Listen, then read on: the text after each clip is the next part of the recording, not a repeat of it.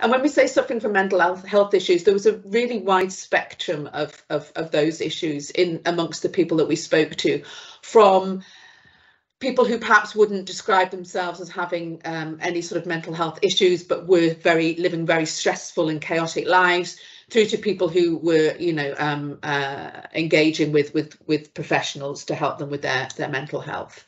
So we can't silo people, and it's very difficult to talk about people in social housing, for example, because those people in social housing are also lots of other different things as well. People are multifaceted. Um, and this interconnection of these factors that we were focusing on compounds the disadvantage um, that these people suffer. Across all of that, mental health issues are a very dominant thread um, amongst these communities. And as I say, ranging from everyday stresses, particularly provoked by the pandemic, provoked by the cost of living crisis, uh, just day to day feeding the family issues, things like that, um, to severe mental health issues and illnesses. And, and we saw um, and spoke to people for whom those had come out quite significantly um, as a result of, of the pandemic. And mental health is, is such a key issue um, for smokers because it um, is is a, a, reason to smoke, and I'll talk a bit more about that that in a minute. It's it's one of the things that um, they smoke to help them with themselves with, but it's also a significant barrier to, to quitting smoking. Looking at um, people who live in coastal towns, I've just pulled those out because they didn't seem to differ at all from um, people from deprived communities in, in other areas. Um, they, they're often very fond of where they live, they're quite proud of that, where they live. Um, um, a lot of the people we spoke to, we spoke to people in coastal towns on the south coast, but also we went up to Blackpool. Um, a lot of those people were living in social housing, some were in privately rented accommodation, um, many were um, living in poverty and, and certainly nearly all of those that the smokers that we spoke to were struggling financially.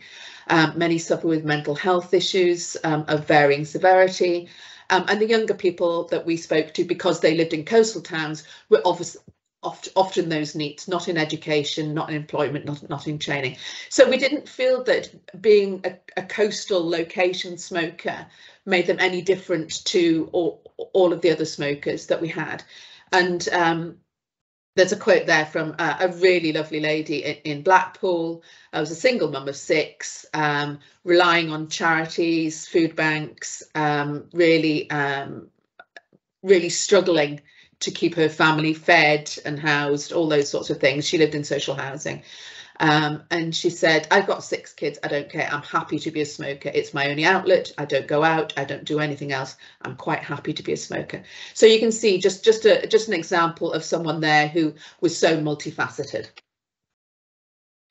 So if we move on to quitting and just um, put some context around the smoking, most of the people that we spoke to in in our research had been smoking since they were teenagers. There was very few that had started um, any later than their, their late teens. Um, and uh, the attitudes to their own smoking reflect what we see generally across all, all types of smokers.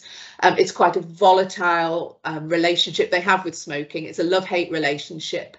Um, you know, they love the feeling that the cigarette gives me, but they hate the fact that they're addicted to it. They hate the fact that they feel ruled by their smoking.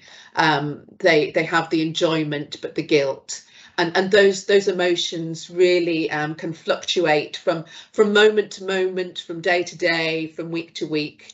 Um, so it's it's a very it is a very volatile relationship that they have with their own smoking, um, and most wish they'd never started. That said, um, although they wished that they weren't smokers, um, we found in this research there was a notable lack of drive to quit or even inclination to quit. So they could say they wished they didn't smoke, but they they weren't wishing um, themselves into a, a, quitting moment, if you like. Um, and these people are very contextualized by smoking. It's it's the norm for many of them. It's all around them.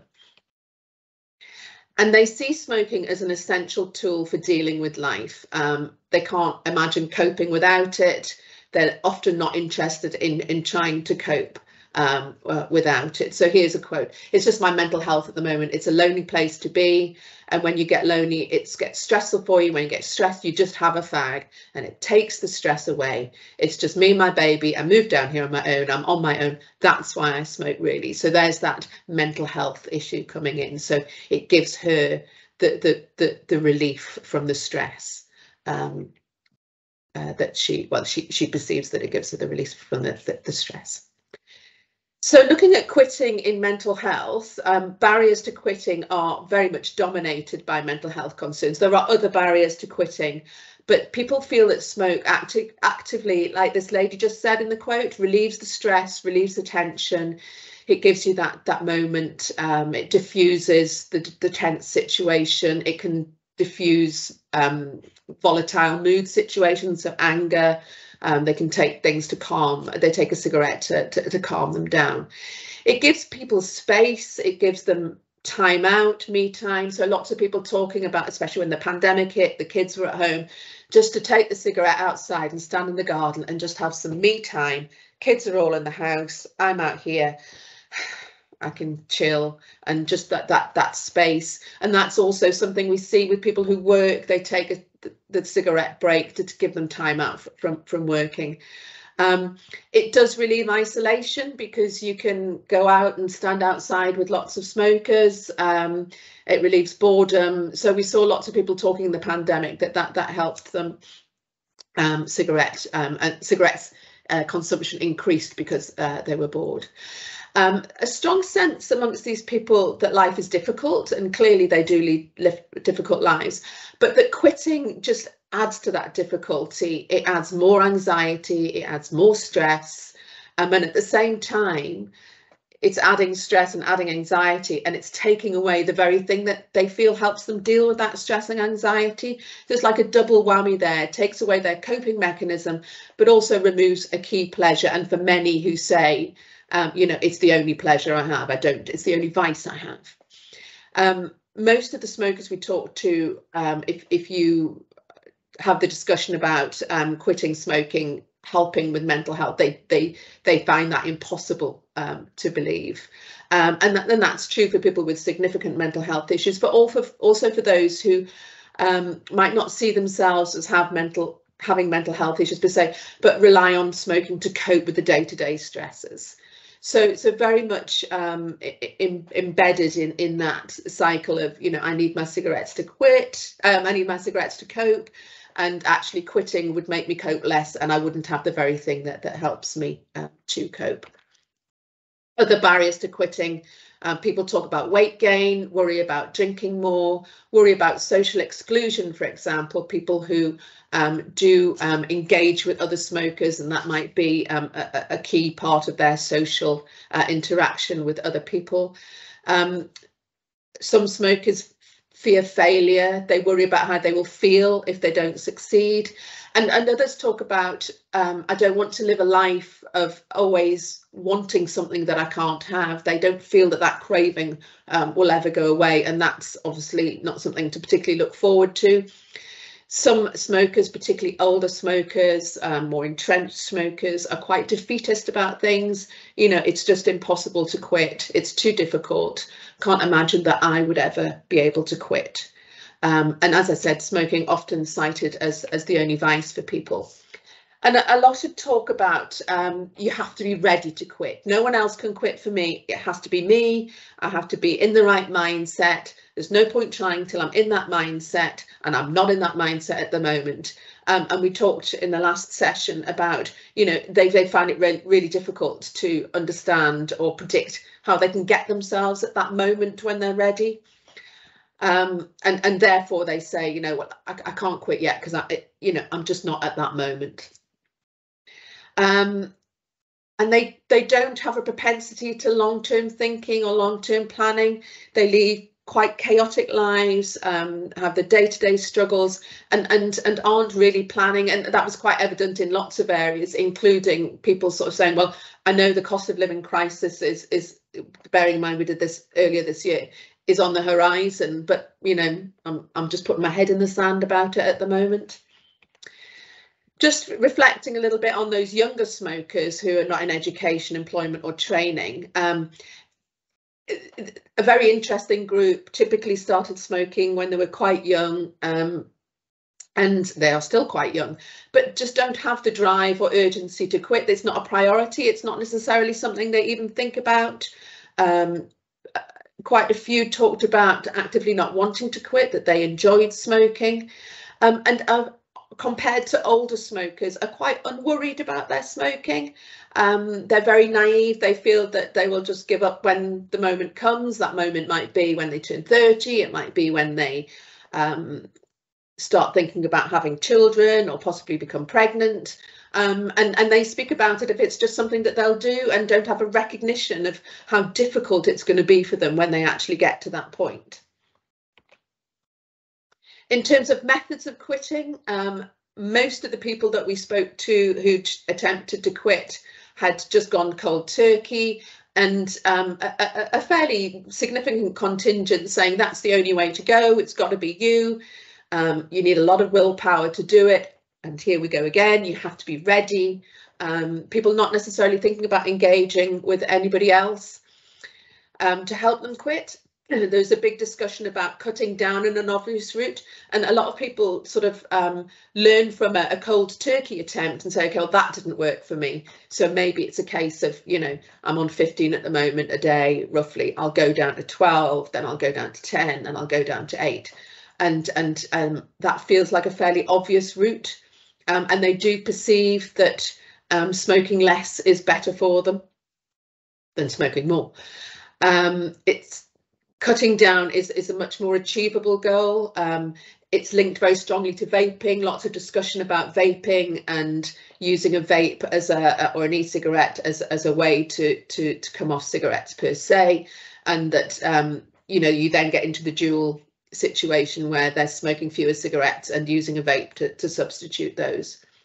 Cutting down also seen as easier on mental health than an abrupt stop, um, but a recognition that it's very easy for the numbers to creep back up. You need to be very disciplined about it. Rollies smokers saying it's it's harder to to um to, to use cutting back because you don't necessarily um have an obvious measure of how many cigarettes you're smoking if you've got a packet of cigarettes you can see that there were 20 and now there's 10 it's not like that for rollies and for some people um they reject the idea of cutting down as a route to quitting that it has to be all or nothing and they liken it to an alcoholic. saying an alcoholic can't have one drink you know it's it's it's all or nothing and they're saying you know you can't even have one cigarette um, in that route. Um, just going back to, to, to vaping, um, many have tried to vape either to quit um, smoking fully or to reduce the amount that they smoke. And we came across a range of ex experiences and perceptions. Um, interestingly, all the people who we spoke to who were classified as living below the poverty line had tried vaping um, as a drive to save money but not all of our respondents see vaping as, as a cheaper option. And um, there's a lot of uh, lot of discussion about the, the, the, the, range of choice, getting the right vape for you, the pre-planning that you have to have to make sure it's charged, to make sure you've got the refills, all of those things. You know, people can can put up lots of barriers to vaping, but at the same time, we we did have some um, some some fairly um, significant uh, success stories from, from vaping as well mixed ex mixed experience of nicotine replacement therapies. Um, and everybody has a story to tell, whether it's their story or an anecdote that they've heard. Um, uh, some people feel that um, it used to be that you could get um, NRT uh, free over the counter from you, um, either from your GP or from the pharmacist, but that doesn't exist anymore. So it's not a cheaper way. It's not a way to save money if, if that's your driver to, to cut back um, and uh, it, there's a cost to it and therefore it's it's prohibitive. In terms of attitudes to seeking help, um, most of the people we spoke to, quitting wasn't an imminent sort of issue for them. They weren't um, necessarily on the on the brink of, of trying a quit attempt and looking for help was not top of mind. Um, some do the, reject the idea if you say, oh, have you thought about, um, you know, uh, a quit smoking service, something like that. So it's not for them, um, lots of reasons why it's not for them, but many of them are unaware of, um, well, unaware that the services available, very much unaware of what those services might be, um, a lack of understanding of what the offer is. You know, there's very much a perception that you have to go and sit in a like an AA meeting type setting and um, and talk uh, in in in that sort of context, that sort of forum. Um, and they don't understand um, the benefits to them of, of seeking quitting, uh, seeking help when quitting. Um, in social housing, we touched on the idea of smoking cessation services um, provided through the landlord, and um, that wasn't something that that went down particularly well. Um, they don't necessarily see a role for the landlord in supporting quitting, and there's often a sense of hostility and this defensive um, barrier comes up. Um, they have a fear for smoke-free tenancies being imposed and people start talking about you know this is my home people can't tell me what to do in my home so when communicating these things you know it, it requires very very clear communication you know to say that you're not talking about necessarily um, stopping you smoking in in home um, and uh, you know one smoker said it would be my last port of call and very much a feeling that people don't understand what the role could be and they would be suspective suspecting of it um, as I said, notable numbers have an attitude that it's all down to me personally to quit. It's about willpower, determination, and if you haven't got that, no support in the world will make any difference. Um, at the same time, they do recognise that being alone in the quit is hard and that peer support would be helpful and welcome. We had discussions because we did this focus groups online. We had discussions that actually a, a, forum like this might work for some people where you were online talking to people who are going through the same things. So recognition that support from peers going through it is, is, is a useful a useful tool. So just to summarise those points then, um, this, this first point that I made about we can't look at people as being, you know, social housing um, uh, residents or mental health sufferers. There, there's so many things and so many factors come into play and um, that compounded disadvantage from from all of those things uh, being present for some people. Mental health, um, uh, a, a, real thread throughout the smoking discussion on why people smoke and why they won't quit and why they lapse as well. Um, these people have very chaotic lives. Um, long-term thinking, long-term planning, including thinking about quitting, isn't really um, something that they that we see a lot of amongst certainly amongst the smokers that we talk to in this this this uh, work. Um, smoking is seen as an an essential um, everyday tool for just getting through life, um, for coping um, with stresses and strains of life, and often seen as an only vice and justify. You know, I don't drink, and so you know, you know, you can't give up everything you love in life. Um, there was a perceived lack of um, drive to quit, um, despite these people not wanting to be smokers. It didn't necessarily translate in a, a drive um, to quit. Um, the removal of the support that smoking gives them with their mental health is um, is a significant um, barrier to quitting and a perception amongst many that you can only do it for yourself um, and a very much a lack of awareness of what support might be available um, what format um, that that support might come in, where you would access it, what the cost of accessing it would be, and why they might use it, what the benefits for using it uh, might be. And that's my presentation, so I'm going to stop sharing my screen. Thanks very much, Sonya. I'm going to hand over now to um, Frances Thirlway, who's um, an anthropologist and sociologist at York with a specific interest in smoking and health inequalities, to give her um, expert response. So, Frances, over to you.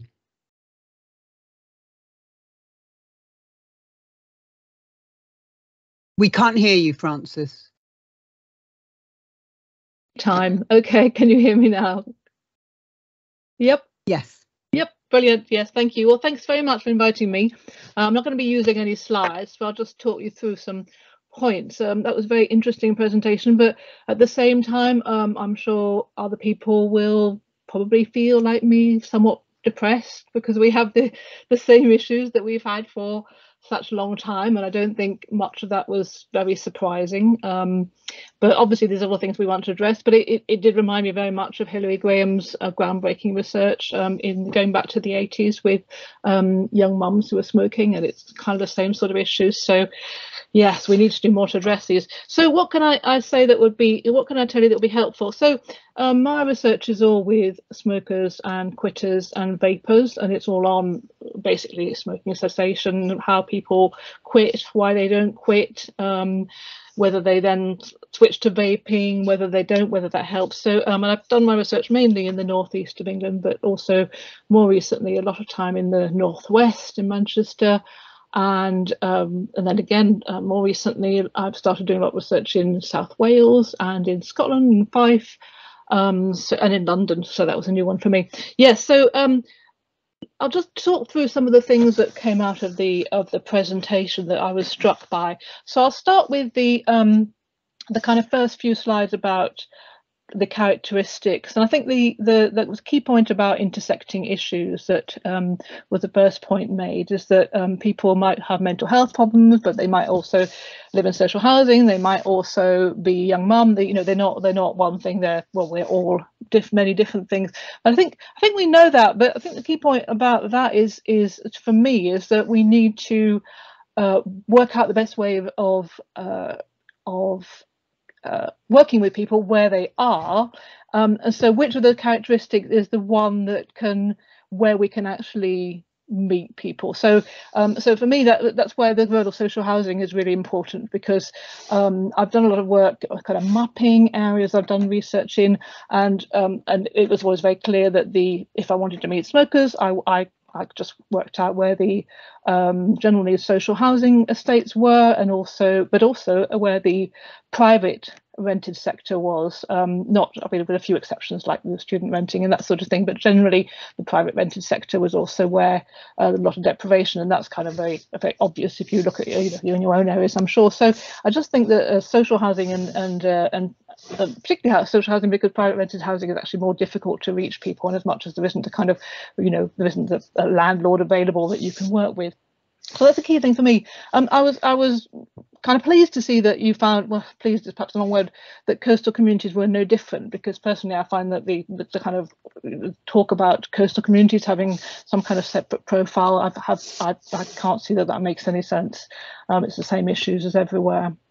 Um, and then the the uh, the other thing is that when people were talking about their um, about smoking and, and uh, tobacco as a tool to cope, I think uh, they talked about um, you said something about loneliness, and I think that's that's really really important. Is that um, pe people who are who are smoking often it's it's it's something that if they if they're isolated, it's particularly difficult to, to quit. And and I was struck when I was looking through the um, the data on smoking cessation um, statistics and that kind of thing is just how how rare group quitting seems to be, um, even though it has the all the evidence um, in the research is that group quitting has probably got a better uh, success record than individual quitting. So just you know put that out there because I think it'd be interesting one to discuss why we don't do more on that.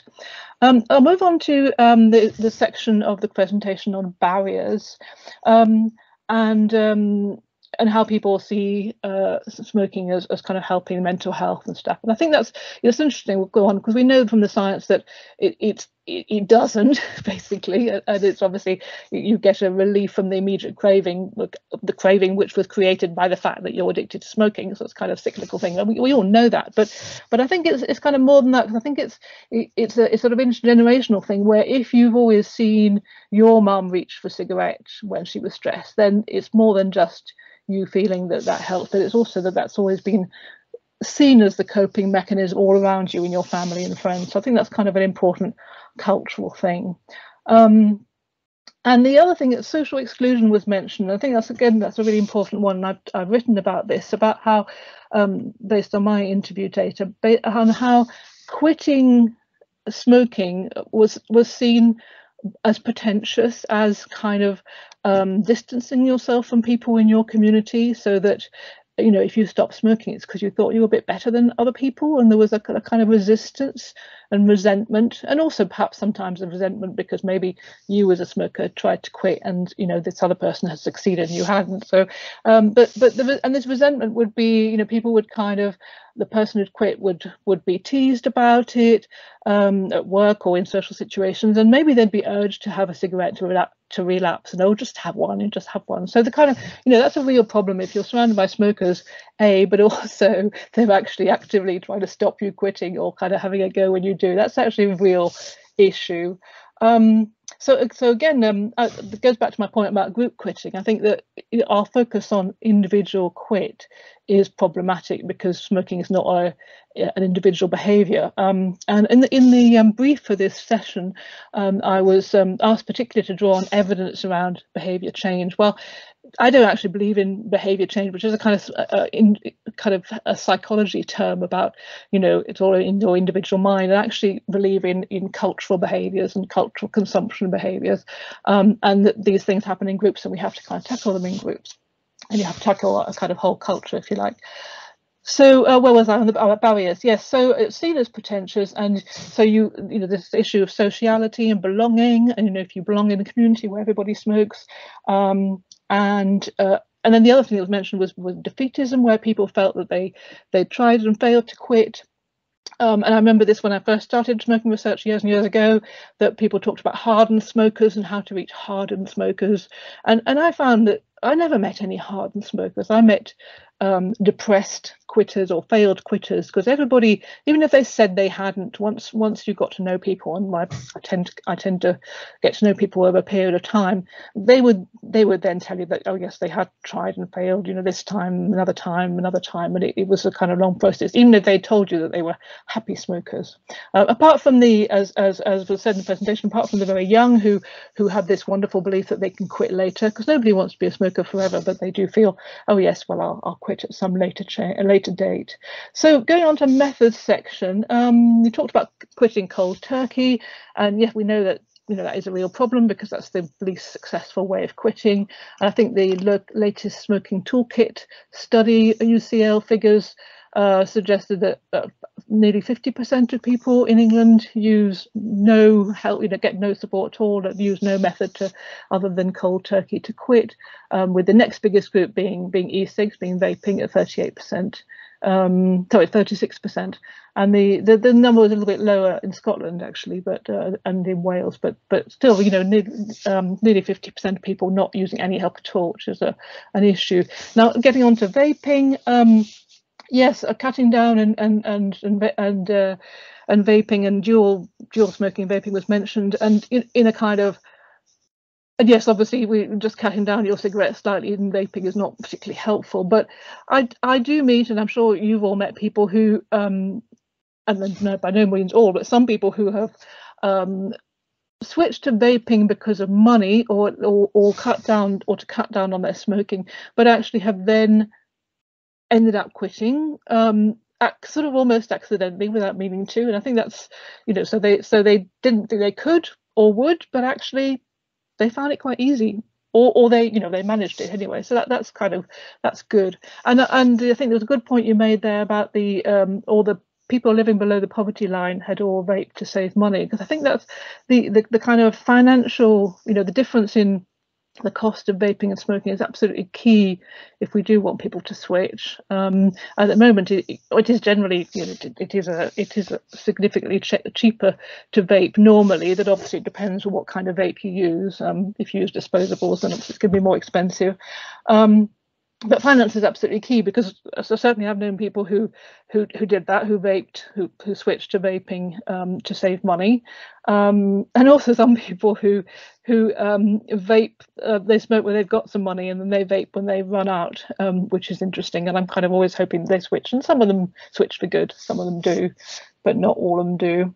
Um, and then the other thing I was disappointed not to hear, maybe that wasn't in your questions, was about illicit tobacco, because I think that's really important because in terms of the, the cost of smoking, um, I always ask people what, what what sort of tobacco they smoke, where they get it, and how much it costs them. And I don't think people realise just how cheaply you can smoke. You know, if you get a pouch of rolling tobacco for thirteen pounds. Um, obviously not, you know, which is either fake or, or normally um, smuggled in the northeast, um, then that could last you one to two weeks. So that's thirteen pounds for one to two weeks smoking, which is not the kind of figures that are, are, are quoted generally about about the cost. And I think you, people you have to be aware of that, which I'm, I'm sure you all are.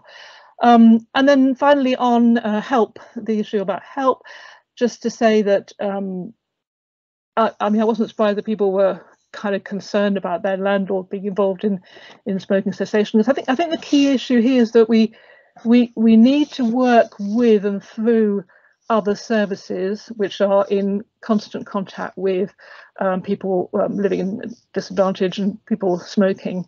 But it's very important that it shouldn't be seen as a kind of gatekeeping issue that the person you're not talking about somebody who's a gatekeeper. So for instance, people are one, one thing I found is people talking about their GP um, telling them to stop smoking. One reason it's an issue is because the GP um, is often a gatekeeper to further services or referrals or sick notes or whatever. So the, the GP has power over you, and therefore, you know, them telling you to stop smoking can easily be seen as or become um, or actually become a sort of barrier. So, you know, we're not supposed to have the kind of you can't have your operation until you stop smoking, but that does happen. I've heard a lot of people say that, um, and that's not what we want. Is that you're being services being withheld to people if they don't stop smoking? And I think that there's a concern that if it's your landlord and they obviously do have power over you, you know that that that you know it, it can be understood as oh, well if you don't stop smoking then this will happen to you.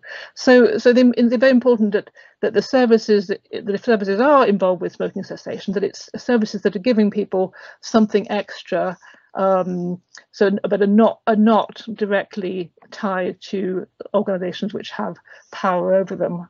Um, and I do think that that um, that last point was that people said peer support would be useful. I think that's a really crucial one because um, I don't know anyone um, from Leeds or York is on the call today, but you might remember if you are that we we put together a funding application. We were hoping to test, um, look at, at the test interventions involving um, um, free e-cigs for people um, in living in poverty and smoking, but also peer support and actually peer support from from other from from other would-be quitters and also from successful quitters and also from vapers and that was something we didn't get funding from but I think that's peer support within your own group is really helpful and that we should do our best to kind of use group settings which exist already, so existing natural groups. So whether it's a group of young mums who get together, um, you know, meet up and have coffee or whatever, whether we can uh, kind of offer them smoking cessation as a group thing, um, or whether it's whatever group it might be, um,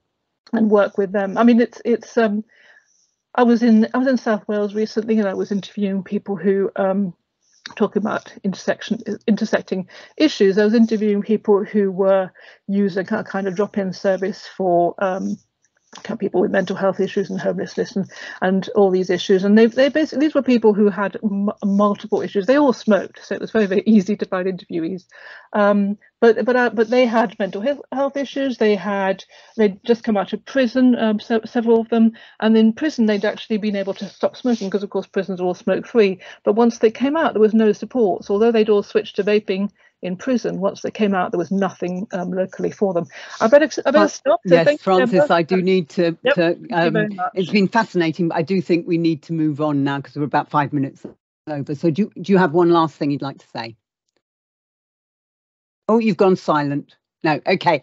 Um, so now um, I'd like to hand over to Liz. And I think a lot of the um, things that have come out of this are really interesting um, about the need to work with people where they are. And of course, social housing being so important, but also the sensitivity that there is. And I think that sensitivity is about gatekeeping, but it's also about a sort of fear that actually um, that will engage you. And sometimes people um, resist being engaged. So I think it's a really important area, and we look forward to hearing what you have to say. And um, Liz is from Clarion Futures, which is the charitable foundation working um, to support um, uh, tenants in Clarion housing, and they're looking at how smoking cessation can be embedded in their financial advice service um, and putting a lot of time and effort and money into this, working with ASH. Thank you. Thank you, and thank you so much for inviting us today. Um, I can't tell you, it is so fascinating for us to be part of this. Our life is money guidance, so we're approaching this um, challenges from the perspective of the household budgets that we work on with our residents. Um, all the things that were described by Sonya in the research are very familiar to us, not necessarily in the in the uh, situation of smoking, but in any conversations that we have with our residents. Mental health challenges, the multifaceted nature of the disadvantage faced, the intractability of some problems, the challenges of changing behaviours. They apply in all the spheres of money help that we give. Um, so smoking is just one aspect, if you like, for us of budgeting, but it's one aspect that we're trying to put a clearer focus on. Uh, next slide, please. So I'll just very briefly, for those of you who may not be familiar with Clarion Housing Group, I just want to tell you a little bit about us and then I'll, it'll help you understand how we're sort of looking at these issues. So as Deborah said, we are part with the charitable foundation of Clarion Housing Group. Clarion Housing Group is the largest social landlord, housing landlord in England. Uh, we have around 120,000 homes now across about 170 local authorities.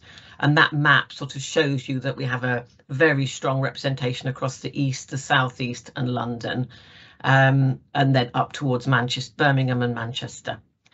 Um, we Clarion Futures was set up effectively to add the added value services for our residents. We specifically work with residents who are the hardest to reach and who are most likely to be squeezed and struggling. And we very much focus on working with people at moments of change, like losing a job, moving on to universal credit, a change in benefits, whatever. Um, because we find those moments of change are when you can sometimes create some headspace to help people think about old problems differently.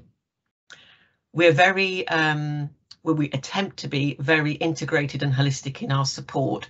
So the money part of Clarion Futures sits alongside digital inclusion support, jobs and training support, well-being support and uh, community activities to overcome isolation and help people feel part of their communities. So when a resident is working with any part of Clarion Futures, they've got access to that much more kind of wraparound approach. So that gives you a context, if you like, to how we've come at this. It's not a blunt instrument, it's part of a, a much uh, wider, wider kind of, or we seek to have, offer a wider intervention. Uh, next slide, please. So in the money side of things, we talk literally to hundreds of residents every month. I, have, I manage a team of 20 people spread all over the country, and my officers are fantastic at building trust and rapport on money quickly. Money is not easy to talk about. Money creates a lot of shame for households. Um, they feel inadequate, they feel judged, they feel compromised, um, and, and it is difficult but my team are very skilled at having those conversations and helping people find wiggle room, find movement in how they spend their money. And that right now could not be more important. You're all aware of the cost of living challenges. For the residents we've working with, they've had cost of living challenges going back many, many years. Um, and the latest round with the energy prices inflation is just um, making a difficult situation intolerable. I'll give you a couple of stats. We, we do an annual survey of around 2,000 residents to get a sense of movement on certain things. In the most recent um, survey, 65% of the residents we surveyed had cut back on essential costs, and that compares to 44% of the UK general population a really, really worrying statistic. 29% of our residents aged 18 to 24, so that's our youngest householders, are going without food because they can't afford it. So put in that context, smoking becomes a conversation we have to have. Because if smoking is depriving a household of food, warmth, paying the rent, managing the essential bills, it's actually placing their well-being further at risk. So how we put it in our service, this is a really brief kind of diagram of how it works, if somebody enters our service, they get a good long, you know, an hour or so in their first appointment, which is a real listening exercise by one of the team. We listen really carefully to what's going on, what challenges and barriers they've experienced, and we try to work with them on, on trying to, as a first pass, get a realistic budget because it's from that which they can then work. So the resident hopefully feels very understood and very listened to. And the thing that the most frequent feedback we get is that people really appreciate the listening we give them. We're then practical. We don't start talking about behaviour change and doing things differently until we've done something in the here and now to help. So we'll work on benefit help, you know, to maximise income. The team can issue food and energy vouchers to help people ride an immediate crisis while they work with us. And we'll look at all the different ways they can reduce outgoings on social tariffs, different discounts and so on. So we try to get that budget better and, and safer, if you like. Then when we're into action planning, we go into a much more detailed budget with somebody. And it's part of the action planning when we're looking through all the parts of their budget that we're introducing now a kind of mandatory question around smoking. So the team need to ask, are, are you a smoker? Do you smoke? How often do you smoke? Have you thought about quitting? Have you ever tried quitting? What's it been like? So we're getting that conversation inserted into a wider budgeting conversation. If we're successful in that, what we're now doing is creating, um, we're, hope we're going to have a funded link into um, a digital support offer, which will include funding for a month um, a substitute. So uh, somebody was talking there earlier about vaping not being seen as cheaper. We want to be able to fund, say, a trial of vaping um, for four weeks so somebody can maybe get used to the equipment, get used to a flavour that they like and see if it's something that works because not only do we, you know, I'm aware from from what conversation we've had with ASH about night, you know, it is 95% less harmful to vape, I understand, so Public Health England than smoking tobacco. Um, but for us on the money side of things, it could be a lot cheaper. And my colleague um, Francis was just mentioning that you might be able to get a tobacco pouch that will last you for two weeks for 13 pounds. 13 pounds is probably 20% of somebody's disposable income for the households we're working with. So even that's a really significant part of their income that they have to manage. So I put that little diagram up just for you to see and hopefully understand a little bit about where it's located. And crucially for us, it's located within mental health and coaching support. We're not, um, we won't be coaching on the quitting. We'll give that, we leave that to you as the experts but it's part of wider coaching and helping a resident feel supported in the changes they make. So next slide, slide please, Amy. So really lots and lots in the research, which is really helpful and we'll definitely be taking it back to the team to discuss further. But one of the things that I guess what I want to highlight things that stood out for me in the kind of quitting conversations, um, you know, when people are saying most wish they hadn't never started, but there's that lack of drive or uh, lack of inclination to quit and that sense of the norm. So our first response to that is we're trying to make asking about smoking habits a norm in our money conversations so that we're not just brushing it to one side, we're bringing it centrally in our budgeting with people. We totally recognise the mental health challenges. Um, we are seeing a real pervasive difference in the conversations we're having with residents over the last six to nine months um, a downward spiral. So we know life is very, very difficult and we do not ask people to do things which isn't in their orbit, headspace to do. Um, but what we will do is recognise and work with those mental health concerns because also those concerns will link to I can't afford to put the heating on, I can't feed the kids, I can't buy school uniform, I can't replace shoes. So there are lots of concerns that we're trying to work with and my team are gifted at trying to talk through and listen to all those concerns and we, we do a lot of training around motivational interviewing to help residents think about the kind of cost benefits of different approaches. Um, started to touch on this, yeah, this idea that the research brings out that people kind of want to be ready to quit and they can say, I am not ready to change. Uh, we know definitely most of the residents we work with, their focus is in the very immediate here and now. You know, we savings conversations are really hard. Talking to people about what they might save over two, four, four weeks, six weeks. the time frame isn't like that. The time frame is here and now. So we have to work with actually kind of how can we have a conversation which says what could you try here and now? Would you like to try kind of um, this, you know, and then we'll have a link hopefully to we're, we're actually in tender at the moment for a, a, digital support app to put through, as well as telling people about their local quit smoking services. So my team would hopefully prompt people to say, what's the risks in a change? What was it worth trying? Is it something you want to try without putting pressure on? Um, again, this uh, idea that uh, there was queries about was vaping a cheaper option, um, the difficulties in going cold turkey. So what we want to do is say, is there any benefit in us funding through um, a replacement product um, a quitting attempt? We give out regularly hundreds of pounds in vouchers to people. If a hundred pounds pays for a quit attempt, but and actually even reduces smoking consumption, that will save far more money than the £100 spent in supermarket vouchers over, say, three weeks, because it could make a change which will last over weeks and months. So we are quite happy to think about how we spend our money differently to support this, rather than just always responding to crisis. I guess the final one I wanted to raise is, um, and it's always really sad when we see that landlords aren't seen as a source of support. I know many, many social housing providers invest hugely. I mean, we invest as a business 10 to 15 million pounds a year in our charitable foundation to support our residents. Um, we find actually the relationship with us builds trust in the landlord uh, because it's a very person-centered sort of support. Um, we're not talking about smoke-free tenancies, we're talking about that individual and their needs and their household.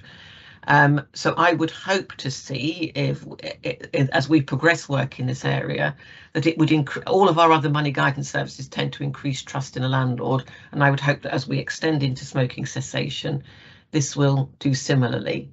Um, I think those are probably my main points, Deborah. Um, yeah, more no, than happy to you. answer any questions, but I think that's Um, about the amount. I'm, uh, this has been fascinating so far, and I've been a poor chair in not keeping people to time. Um, can I kick off with a question that sort of comes out of what people have been saying, which is, um, as Frances said, you know, what we're finding is what we've always found, which is that people think cold turkey is best, um, smoking helps their mental health, and that they resist working in groups. Frances, have you got any solutions on that that would help um, people like Liz working to develop these um, uh, these interactions? Um, well, I think I think I, I mean I, I'm I'm very keen on on on trying to reach people in groups. So um, to actually suggest you know workplace quits or a group or family quits or um, community group quits, and kind of use or, or things where you know where there's already a group in existence, like I mentioned the young mum. Well, social housing, I think, is the key example because, and I wonder, Liz, whether there's ways that you can build on that because we certainly know that uh, group quits are more effective, but also that a lot of times people resist group quits. So it's a way of building it into the community. So is, is that something you've done on financial advice, Liz? So interestingly, we find money on its own is not done well in group settings. I come from a background of delivering financial capability in groups. I used to do that for Citizens Advice, but actually it has no more than surface level impact. To actually help people make changes, you have to work with them one to one because their money situation is so unique. All of that said, what we're also looking at alongside, so when we're building smoking cessation, it is about a one-on-one relationship between one of our officers and a household. However, alongside this, we recognise this is just part of a wider platform of interventions we want to trial. We're going to also develop, hopefully, a, a place-based solution, working with our communities team, who are very experienced at working in groups, in communities where people meet and where they're comfortable.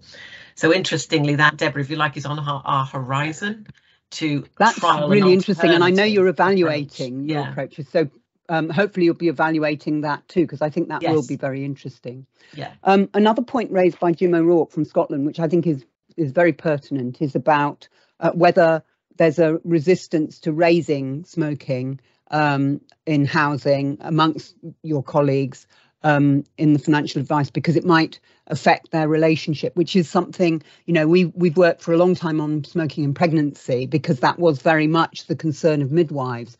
Um, and it, the the research that Sonya will present on smoking and pregnancy shows that largely uh, women accept that this is something that will be raised with them. And I think moving to that point on housing is going to be quite important too, but it is very sensitive. So I don't know if you want to say anything about that again, I would say my colleagues, when we began these conversations nine, 12 months ago, were a few were a little bit squeamish, but, but very quickly, once we said, no, this is a, a simple, you know, we've got the, we're using a very simple brief intervention model. So it's just a normal question to ask. It's not pushed. If you don't want to talk about smoking and push it further, it's left. But if you want to bring it into the budgeting conversation, it's on the table. So I would say that's been our first platform of work is to work with the team to say it, it needs to be normal in the same way as we would ask about mental health risk, safeguarding risk, domestic violence. You know, we have to talk about a lot of tough topics with households. We ask about them in a non-judgmental, straightforward way. People gen, gen, generally do not take offence because it's part of a bigger conversation and it follows a period in which you've already, you know, you might be 20 minutes into the conversation before it's raised. So there's a degree of trust already built and hopefully a rapport. We don't just, it's not a blunt instrument we want to use it as. Um, and Alison Powell talks about what their local stop smoking services offer. I don't know where how far you've got down the line of, of developing that model, but um, this this sounds something useful. And I know other stop smoking services have done the same. So Alison, um, perhaps you can put in the chat which stop smoking service you you're from as well. Um, and um, yes, I mean, um, Louise Ross has talked about the NCSCT training modules, and they're certainly worth looking at if people haven't seen them. But I think the um, the the issue of how we actually connect more effectively. Um, and I completely agree, Frances, that this idea of hardened smokers or smokers that are hard to reach, you know, we know where smokers are and we should go to them where they are. And I think we do recognise that now, but we're still facing some of the same difficulties about where people's resistance lies, and we need to do more um, to to to deal with that. Um, so um, I'm trying to see if we've got any other questions in the chat.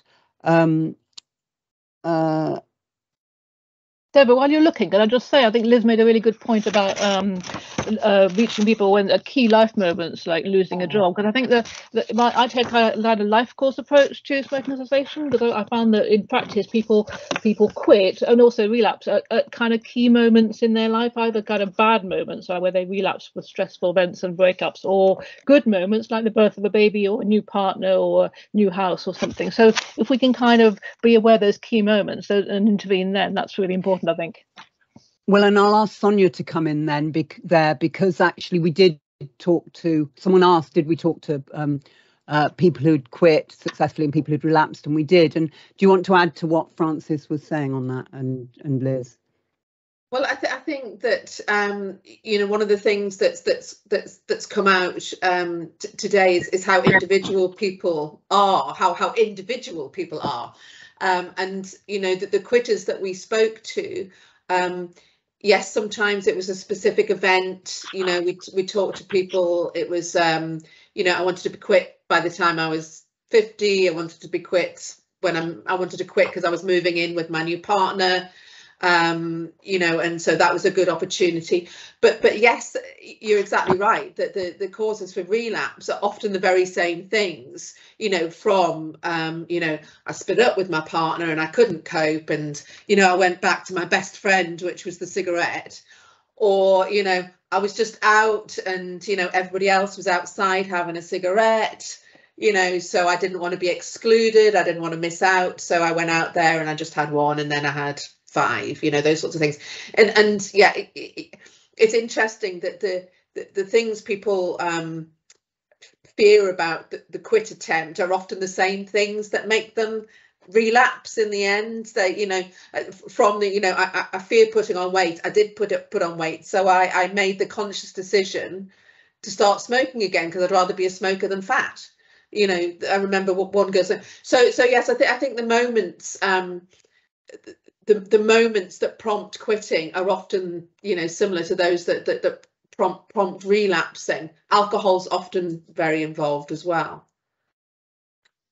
Yes, I think the whole intersectionality which you pointed to is is really important, and you know the importance of mental health, and that's the other area where we need to do a lot more in in explaining to people in ways that are meaningful to them the value of quitting to mental health, and also the the, the harm that smoking does in actually engendering mental health problems and starting them off. Um, we've run over time uh, yet again, it's a it's been a fantastic session. I certainly think, and I hope everyone else has does too. We will be sending an evaluation um, uh, survey around, and please do answer it. Um, we're always looking for ways to improve our sessions. And just to remind you, the next session is Tuesday, the fourth of October, on attitudes, behaviours and perceptions of support for quitting in pregnant smokers. And then on the 18th of October, both of these are 10 to 11, attitudes towards smoking support in healthcare professionals. And um, I'm sure those will both be very interesting too. I know from seeing um, Sonya's full presentation. Um, and the full presentation of the results of the qualitative research will be going up online. We're doing, just doing some final checks. So thank you all very much for attending and um, ASH looks forward to seeing you again at the next session. Bye everyone. Thank you. Thank you. Bye bye.